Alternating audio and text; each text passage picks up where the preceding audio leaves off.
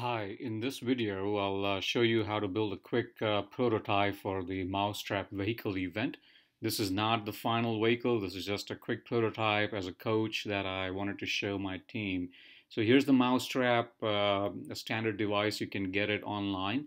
Uh, it's a very dangerous device. Here I'll show you how it works. If you press this yellow flap here and it's going to trigger the device and I'm going to use my finger. Uh, probably not, uh, not a good idea. Let me use this uh, wooden ruler and you see how quickly it went.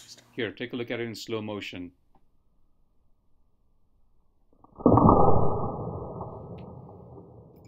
Hard to even see it in slow motion, isn't it? You can rewind and uh, try looking at it. All right, so we're going to build a, a, chassis. I'm using two balsa wood sticks, drill you know, four holes at the end and using super glue to, to stick it to the mouse trap real quickly. Like I said, this is a you know rough prototype. Uh, this is not going to be a sturdy device. And once I've got my chassis, I'm going to nail this down in addition to the super glue to make sure that the mouse trap doesn't bounce out and come out and hit, you know. So I'm going to nail in a, a couple of nails there to make sure it's sturdy.